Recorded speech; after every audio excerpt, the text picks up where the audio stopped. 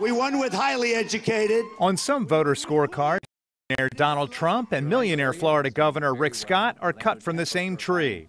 Like Trump, Scott spent most of his life in business, making hundreds of millions of dollars running the nation's biggest hospital chain and later a chain of health clinics.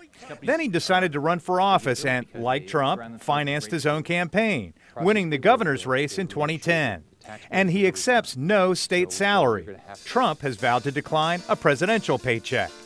Trump even said Wednesday that someone with political experience might be the best running mate.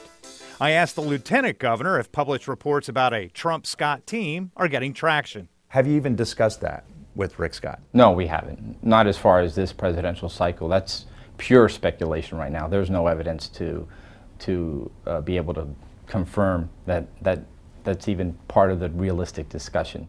Carlos Lopez Cantera, a donor to Marco Rubio's campaign, says the Florida senator has the experience necessary to be in the Oval Office. Is Trump, as a businessman turned politician, qualified to be president? I'll let others make that judgment.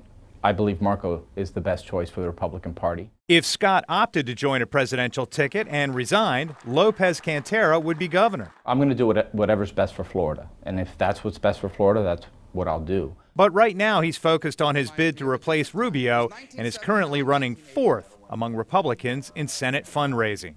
Greg Fox, WESH 2 News.